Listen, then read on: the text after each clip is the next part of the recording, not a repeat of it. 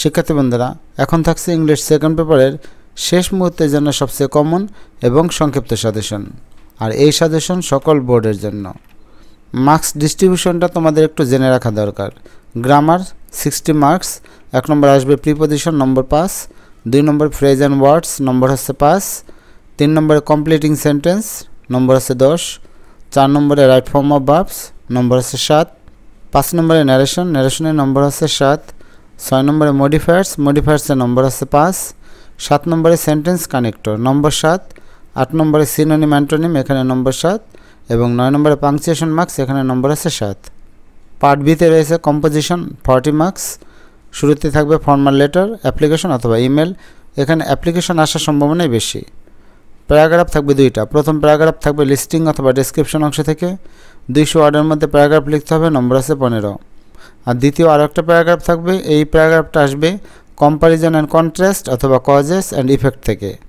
এইটাও দুইশো ওয়ার্ডের মধ্যে একটা প্যারাগ্রাফ লিখতে হবে আর নম্বর আছে পনেরো। শিক্ষার্থী বন্ধুরা গ্রামার অংশে সাজেশন এবং উত্তরের ভিডিও কিছু ইতোমধ্যে দেওয়া হয়েছে। বাকিগুলো দিয়ে দেব। ডেসক্রিপশন বক্স তোমরা চেক করে দেখবে। তাছাড়া তোমরা টেস্ট পেপার থেকে অনুশীলন করতে পারো। তাহলে রাইটিং পার্টের সাজেশনটা দেখে নাও। কোশ্চেন নম্বর দশ অ্যাপ্লিকেশনস নম্বর হচ্ছে দশ। অ্যাপ্লিকেশন থেকে সাজেশন। প্রথম চারটা সবচেয়ে বেশি গুরুত্বপূর্ণ। এখানে লাল কালিতে স্টার চিহ্ন দিয়ে বুঝিয়ে দেওয়া হয়েছে কোনগুলো বেশি গুরুত্বপূর্ণ, কোনগুলো কম গুরুত্বপূর্ণ। তোমরা শুরুতে ইম্পর্ট্যান্টগুলো পড়ে ফেলবে, এরপর পর্যায়ক্রমে সময়ের উপর নির্ভর করে বাকিগুলো পড়বে। আর যদি আগে থাকতে পড়া থাকে, সেক্ষেত্রেও তোমরা সেগুলো রিভাইজ দিয়ে যেতে পারো।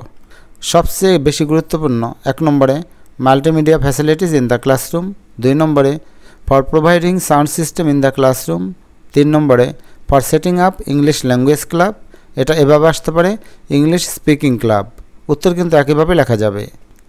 চার নম্বরে for increasing computer lab facilities অথবা এটা এভাবে আসতে পারে for opening a computer club এই চারটা পড়ার পরে হাতে সময় পেলে পড়ে ফেলবে পাঁচ, ছয়, সাত, আট, এই চারটা।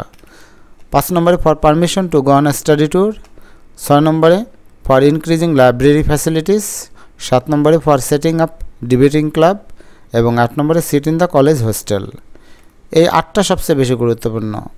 এছাড়া শিক্ষার্থী বন্ধুরা, বাকি যে অ্যাপ্লিকেশনগুলো আছে, এগুলো বেশিরভাগ তোমাদের আগের পড়া আছে। তবুও শেষ মুহূর্তে রিভাইজ দিয়ে যাওয়া ভালো, তার কারণ বর্তমানে পারফেক্ট বলতে কিছু নেই।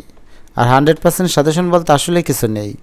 আমরা সর্বোচ্চ ট্রাই করি তোমাদের সবচেয়ে কমনগুলো দেওয়ার জন্য। তাই তোমাদের রিকোয়েস্ট করব যারা একটু দুর্বল, তারা প্রথম চারটা এবং পর্যায়ক্রমে আটটা পড়বে এবং যাদের অবস্থান ভালো, অর্থাৎ ইংরেজিতে যারা ভালো, তারা বাকিগুলো পড়ে যাওয়ার চেষ্টা করবে। নয় নম্বর অ্যাডমিশন অন টিসি দশ নম্বরে চেঞ্জিং ইলেকটিভ সাবজেক্ট এগারো নম্বর stipend from the poor fund বারো নম্বর ইনক্রিজিং কমন রুম ফ্যাসিলিটিস তেরো নম্বর providing WiFi facilities in the college campus এবং চোদ্দ নম্বরে not to allow cellphone in the classroom এই সাজেশন কিন্তু সকল বোর্ডের জন্য সমানভাবে গুরুত্বপূর্ণ। এবার প্যারাগ্রাফ, এগারো নম্বরে আসবে প্রথম প্যারাগ্রাফ, নম্বর আছে পনেরো। এখানে তোমাদের দুইশো শব্দের মধ্যে একটি প্যারাগ্রাফ লিখতে হবে। এই প্যারাগ্রাফের নাম দেওয়া হয়েছে লিস্টিং আর ডেসক্রিপশন, অর্থাৎ বর্ণনামূলক প্যারাগ্রাফ তোমাদের লিখতে হবে। প্রথম চারটা সবচেয়ে বেশি গুরুত্বপূর্ণ সকল বোর্ডের জন্য। শিক্ষার্থী বন্ধুরা, লাল কালিতে স্টার চিহ্ন দিয়ে বুঝিয়ে দেওয়া হয়েছে কোনগুলো বেশি গুরুত্বপূর্ণ সেই অনুযায়ী তোমরা পড়ে নিবে। এক নম্বরে অ্যান আইডিয়াল স্টুডেন্ট দুই নম্বর ইন্টারনেট তিন নম্বরে ফেসবুক চার number importance of female education পাঁচ নম্বর একটু কম গুরুত্বপূর্ণ, পাঁচ, ছয়, সাত। পাঁচ নম্বরে ইম্পর্টেন্স অফ লার্নিং ইংলিশ ছয় নম্বরে মোবাইল ফোন সাত নম্বরে দ্বীপ অফ দ্য ব্রিজ আরও একটু কম গুরুত্বপূর্ণ, Pahela Baishakh tree plantation my country COVID nineteen digital Bangladesh. যারা ইংরেজিতে দুর্বল, তাদের জন্য পরামর্শ হলো প্রথম চারটা অবশ্যই পড়তে হবে, সময় পেলে বাকি তিনটা পড়ে নেবে। বারো নম্বর প্রশ্নে আরও একটা প্যারাগ্রাফ আসবে, এখানেও মার্কস পনেরো।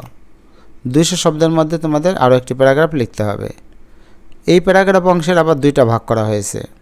একটা হচ্ছে কম্প্যারিজন অ্যান্ড কন্ট্রাস্ট এবং অপরটা হচ্ছে কজেস অ্যান্ড ইফেক্ট দুইটাই কিন্তু পরীক্ষায় আসবে না।